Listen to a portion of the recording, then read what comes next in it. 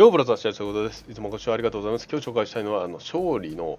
動画なんですけども、まあ、勝利の動画が今、公式のツイッターの方で公開されましたので、まあ、勝利の、まあ、キャラクターのスキルとか元素爆発とかそこら辺の考察。で、もう一つが、あの勝利が装備していた武器ですね。それがちょっと僕知らない、多分知らないやつだと思うんで、まあ、知ってたら、みんなね、知ってたらすみません。はい、考察していきたいと思います。まずは動画の方から。でまずスキルからですね、スキルはボタンタップ1回押しであの岩の壁を生成して、まあ、岩元素の範囲ダメージを与える。ここがミソなんですけども、まあ、おそらくあのこの後説明するんですけども、ここの範囲ダメージが継続です。はい、で長押しでシールドを生成する。で、岩元素ダメージを吸収する。まあ、シールド吸収のやつですね。で、岩元素範囲ダメージを与えるというような感じになってます。まあ、ダメージをね、こう範囲で与えながらシールドを生成するっていうこと。でまずはですね、スキルボタンタップのこの石なんですけど、これはあの出した瞬間に、まあ、その相手にポッて出した瞬間に、まあ、ダメージを、岩元素のダメージを与える。その後、まあ、これ見てもらうと分かると思うんですけども、おそらくね、まあ、これちょっとすげえ分かりづらいんで、あの、あれなんですけど、あの、変な波紋？四角い波紋みたいのが出てますね。ポン、ポン、ポンって。これがタイム測ったら2秒に1回ぐらい、1.8秒とか1.9秒ぐらいに1回、バンと継続で範囲ダメージがバン、バン、バンって当たるような内容です。なので、かなり優秀なものになります。で、プラスして、まあ、スキルクルダウンはまあ 4, 4秒ぐらいだと思います。なぜなら、この岩元素のスキルを発動した後に、あのスキルの銃撃のモーションに入るタイミングがあってそれがおそらく、4.5秒ぐらいでそのモーションに入ってたんで、まあ、4秒ぐらいであのスキルクールダウンが1回押しであればなると思いますただ2回あの長押しの場合はあのスキルで、まあ、ダメージを与えてさらにはシールドを生成するっていうところなんで、おそらくね、他のディオナとかベネットとかみたいなのを参考にすると、おそらくスキルクールタイムも12から15秒の間ぐらいにはなりそうな気しますね。長押しの場合であれば、シールド生成できるってところも考慮すると。で、チャージ性能に関しては、あのスキルを打ってチャージがたまその継続ダメージとかもあるんですけども、溜まってるタイミングとかを見ると、出したタイミングではあのオーブが生成されてなくて、うん、どうなんだろうこの継続ダメージの時に生成されているのかそれとも攻撃当たったのタイミングなのかっていうのはちょっと微妙でわからないこの動画だと、なので基本的にはあのチャージ効率のオーブはスキルで貯めるのは結構難しいのかなというような感じがします。あとこちらのあの壁にはですね、まあ、登ったりとかできるし、あと壁としての活用もできるんで、相手を吹っ飛ばしたくないキャラと、まあ、例えば勝利であれば連撃をするんで、相手がどっか行かないようにしてやったりとか、あとはまあ、この継続ダメージがなりますんで、まあ、それ岩元素の継続ダメージを周りに増やしたり、例えば味方が戦っているところに1本立てておくとか、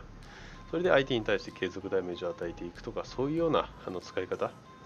であったり、例えばあの相手に対してダメージを与えたらあのプラスされるような武器を装備してみたりとかそういった使い方もね結構継続ダメージが優秀なんでそういうビルドの組み方もありだと思います。はい、で次は元素爆発の方の説明になります、まあ、巨大な隕石を落下させ範囲攻撃を敵のあの陣地帯に与えるっていうことですねでそれが石化状態にするっていう効果があります、まあ、これちょっとご覧になってみて分かると思うんですけどもまずはあの石化してる相手に対してのダメージですね。で石化してない時の最初のダメージとちょっとあの物理の攻撃になるんですけども、まあ、若干威力が上がってます。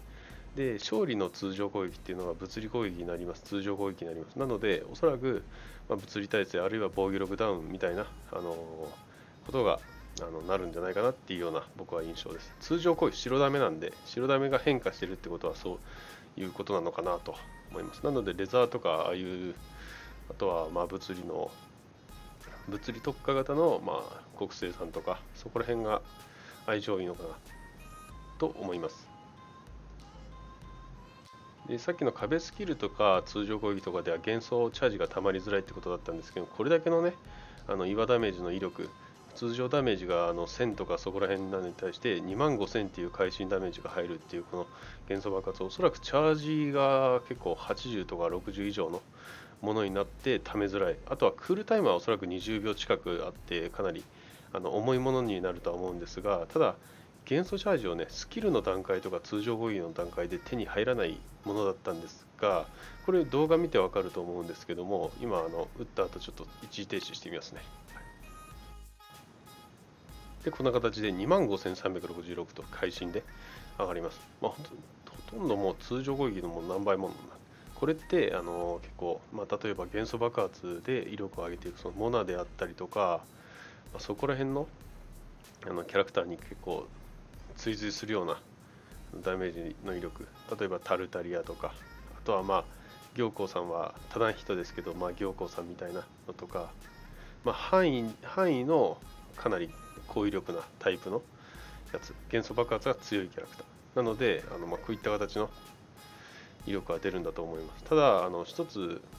あの注意してほしいのが例えばここでだったら旧貴族にして回そうってなったりとかするとちょっとあの難しくて例えば岩元素の攻撃なんであの蒸発とかそこら辺の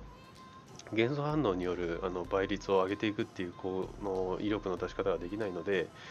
あのあくまで威力は高いけどあのそういった元素爆発に頼るキャラクターっていうよりは違うの方がいいのかなと。勝利のあの性能で言いますと例えば元素スキルとかを使ったりとかしてシールドを生成したりとか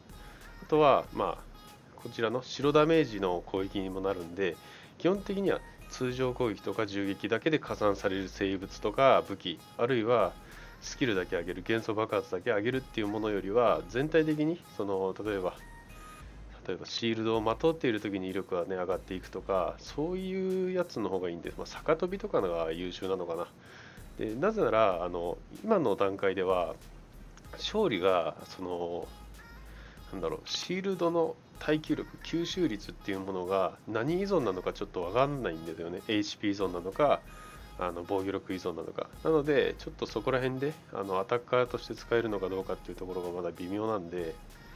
まあ、ちょっとまだそこら辺の生物のチョイスっていうのがあるんです。基本的に逆飛びであればあのダメージ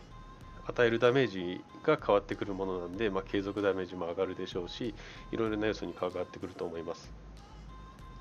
まあ、元素スキルと元素爆発のこの状況を見ると、まあ、合うキャラクターっていうのが例えばこう物理を下げていって、まあ、戦うので、まあ、物理レザーであったりとか極性だったりとか。で壁を張ったりとか継続的にダメージを与え続けてプレッシャーを与えるみたいなところでまあ面白いのかなっていう感じ。あとはまあ行そのノエルとか、まあ、行幸とかで、まあ、岩ダメージシールド付与した状態の時っていうことで逆飛びとの相性も非常にいいっていうところで、まあ、行幸とかいいのかなと思います、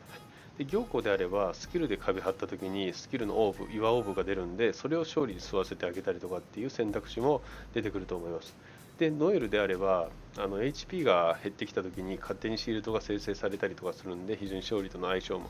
良かったりもするのじゃないかなっていうところで一応そこら辺もチョイスしています、まあ、元素反応に関しては基本的にはあのあまりその何何の元素と組み合わせるかっていうのは特にないんで、まあ、基本的には勝利のこういう物理の上げ下げたり相手の動きを止めたりとかするっていうところを考慮に入れたり